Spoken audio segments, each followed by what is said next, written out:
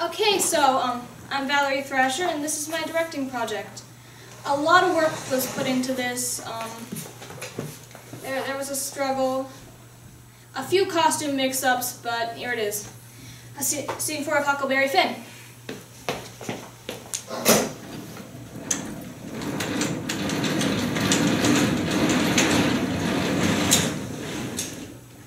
There weren't nothing to do but head out into the open river. The current was swift, and in a few minutes couldn't hear the dogs anymore. Those two laid down flat behind the wigwam so as they couldn't be seen from shore, and I was in a sweat for fear they'd spy Jane, for the wigwam weren't hardly big enough to hide her. But she stayed quiet, and they was so feared for their own skins, they never thought of nothing else. So we got away all right, and finally I judged it was safe to talk. You can sit up now. Is it safe? There's about a mile of woods between us and the dogs. Well, friend, I'm grateful to you. If you hadn't helped me out back there, I'd be one solid mass of tar and feathers by this point.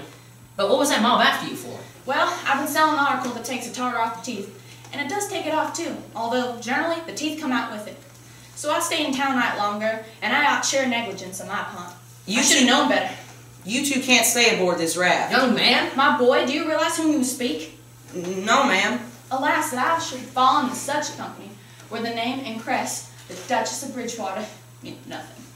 The Duchess of Bridgewater? Uh, Scoff if you will. My great grandfather, of all Bridgewaters, fled this country by the end of the last century. His first son, my grandfather, was deprived of his title and the Bridgewater estates and money by the rascally second son. I am the descendant of the first son, the real Duke of Bridgewater, and heir to millions. Uh, And here I am, forlorn, born on my high estates, unto the men, des- despised of the cold world, ragged, worn, heartbroken, and degraded with the companionship of felons on the rack. Would you deny me even that? gee, a, a Duchess. Well, I guess it's all right if you stay, but I, I, Oh, that's all right. You don't have to call me Your Grace. You can call me Bridgewater, and that's a privilege I only allow my friends. And I will demand no service of you, except you can give me your cushion and wait for me at my meals. well, all right, you're, you're Bridgewater. say, Bilgewater. Bridgewater, Bridgewater. Say, Bilgewater. It was mighty noble of you to try to protect me this way. But I think this fella here's a good fella. And if we're gonna share his raft, I figure we should share our knowledge. Young fella, Bilgewater here ain't the only one with the secret birth. No? No? No. Can I trust you? Sure. I'm the late Dauphin of France. What? That's right. Your eyes are looking at the poor disappeared Louis the Sixteenth, son of Louis the Seventeenth and Marie Antoinette. You, at your age. You mean, you're the late Charlemagne. Trouble has done it, Bilgewater. Trouble has brought these here gray hairs and premature balditude. Your eyes are looking at the blue jeans and misery. the rightful king of France. Gee, uh, a king. That's all right. You don't have to call me your majesty. It'll be enough to call me king. And, uh, give me a cushion. King my foot? Chisel more likely. Listen, your majesty, who thought to this first? Listen, Bilgewater, what's the use of being sour? We're gonna be a long time together on this raft, and if we share this room, why not share the royalty? It ain't my fault I weren't born a king, and it ain't your fault you weren't born a duchess. So come on, Bilgewater, give me your hand. Well, alright, I could use an assistant in my theatrical enterprises. Theatrical enterprises. Well, I could use some help on the church circuit. Now come on, shake. Boy, come here. Yes, your majesty? You have nothing to eat upon this clumsy craft. Uh, no, sir. Well, what's in here? Uh, nothing, your majesty. What have you? We have company. Who are you? Why are you here? Nothing, sir. L- look at here. She's just my friend, Jane. We're heading down river together.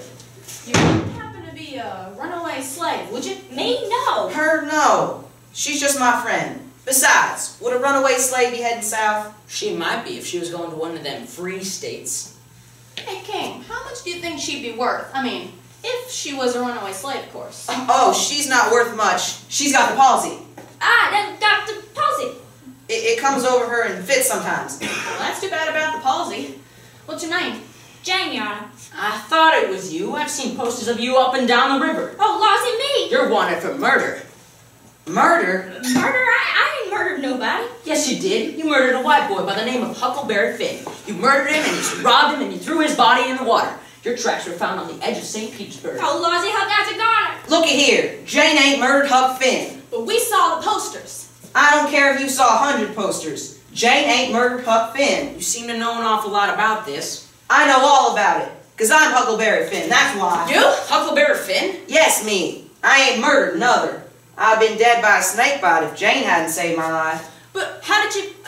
They think you're dead. I know they do. I fixed it so they think so. And Jane helped me. She's a runaway slave, all right, but she ain't done no murder. Rightfully, my lady, I should turn you in. Oh, no, please, sir. I'll be sold South Shore. Uh, look here. If you promise not to tell on Jane, I'll, I'll, you can stay on this raft. What do you think, Bilgewater? Well, it's a proposition. We could probably get $40 for it.